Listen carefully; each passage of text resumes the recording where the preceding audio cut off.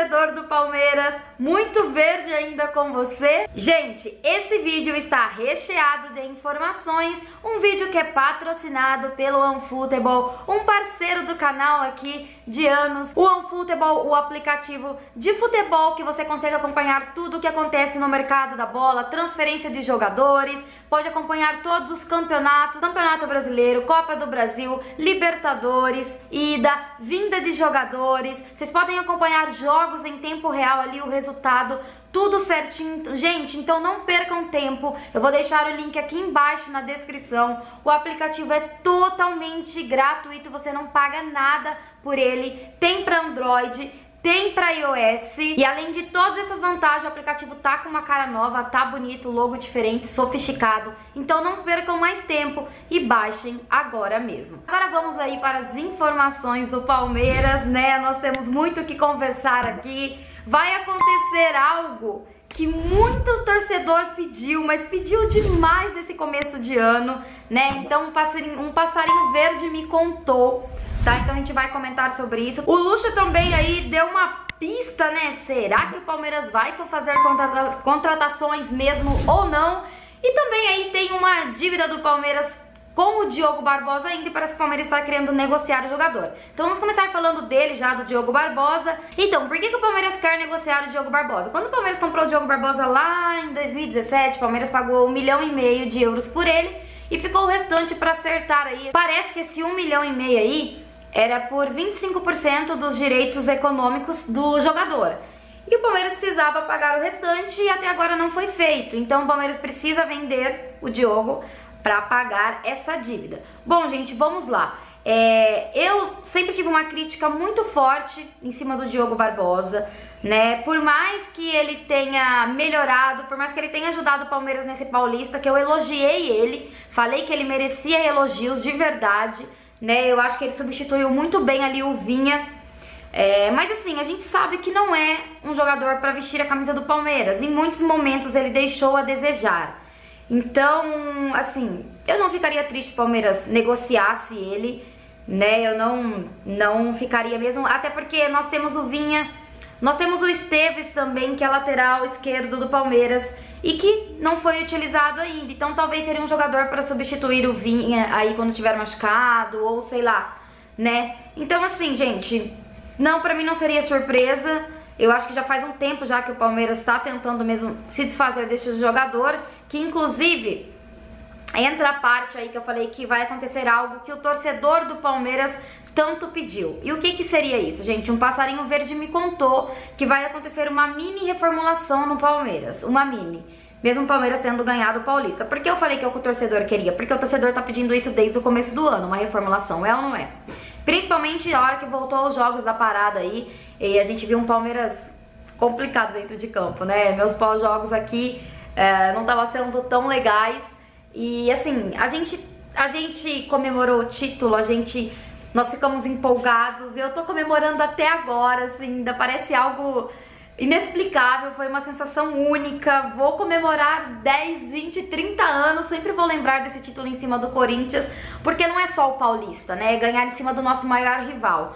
Mas nós sabemos que o Palmeiras tem limitações, nós já percebemos isso dentro de campo né? Tudo bem que o Palmeiras tem um elenco e eu até comentei na live para quem não assistiu, falei que o Palmeiras saiu um pouquinho na vantagem pelo elenco e talvez no Campeonato Brasileiro, vocês sabem, né? Campeonato Brasileiro quem tem um, melhor elenco é, acaba levando vantagens porque é um jogo em cima do outro e tal, e é um campeonato longo, né? Mas a gente vê que tem alguns jogadores ali bem limitados. Principalmente você vê que jogadores entram e que não decidem, né? Ah, o Scarpa entrou no jogo contra o Corinthians, foi decisivo nos pênaltis né? Graças a Deus fez o, fez o pênalti, fez o pênalti, fez o gol de pênalti pra gente. O Lucas Lima também fez o gol de pênalti, mas são jogadores que entram numa partida e acabam não mudando nada.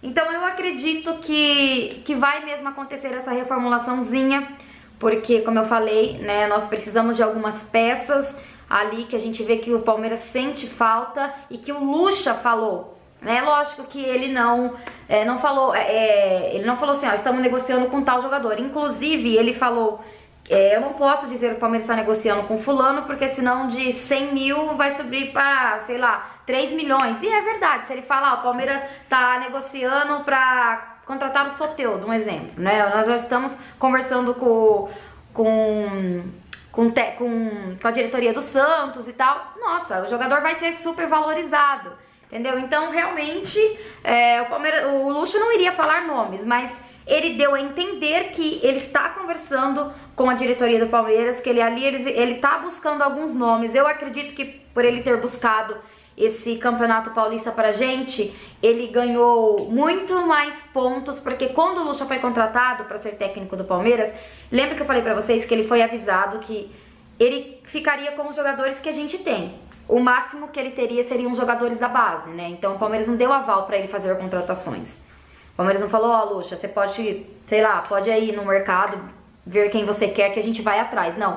O Palmeiras não fez isso quando o Lucha foi contratado, né? Então, talvez agora ele tenha ganhado aí uh, a oportunidade de buscar algumas peças que ele acha importante e que vai ajudar a gente aqui no, no Campeonato Brasileiro, Libertadores e tal. Então, eu acredito que vai acontecer contratações. Gente, tenho quase certeza, não sei qual a posição ainda. O Palmeiras tinha aquela conversa para trazer é, o Herrera lá, mas parece que não foi feita outra oferta, então tá meio que enrolado isso.